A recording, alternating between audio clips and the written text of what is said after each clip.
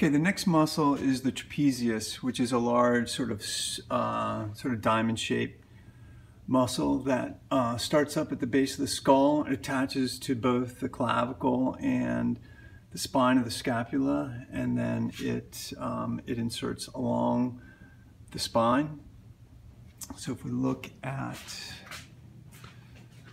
the skeleton, so it's it's starting up here it's coming down and it is attaching to the, oops, it's attaching to the, to the lateral third of the clavicle. So it's coming from behind there, coming forward, attaching to this part of the clavicle and also the top of the acromion process and running down the spine of the scapula and then it is um, originating along these vertebrae through here and ending at the 12th, which is down here. So the whole thing is ending at about where your rib cage ends.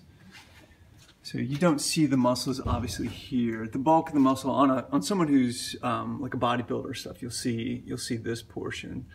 But with everybody, you see this portion up here, which is sort of the fuller portion, and that kind of fills out the shape of the neck, and as you can see from the back, it hides some of the sternocleidomastoid muscle, sort of comes behind it. Um, and this white area in here is just fascia, so the muscle um, the muscle doesn't isn't in this area, so it's sort of full here, and then it goes flat.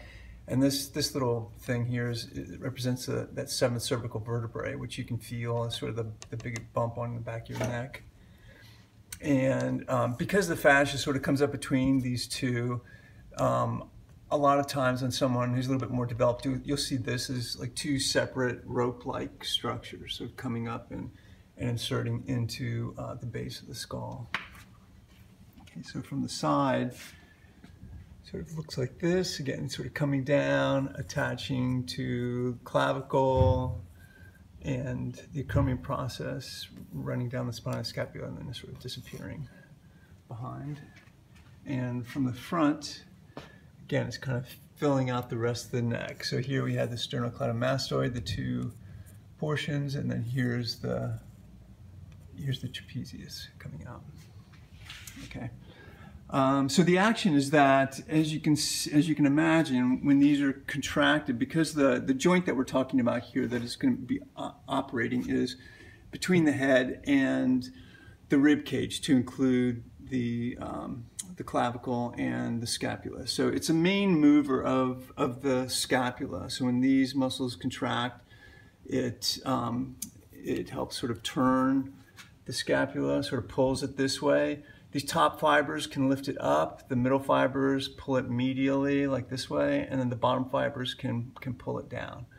But the big action is sort of rotating, helping to rotate sort of the shoulder and the arm like this. Okay, that's the, uh, that's the uh, trapezius.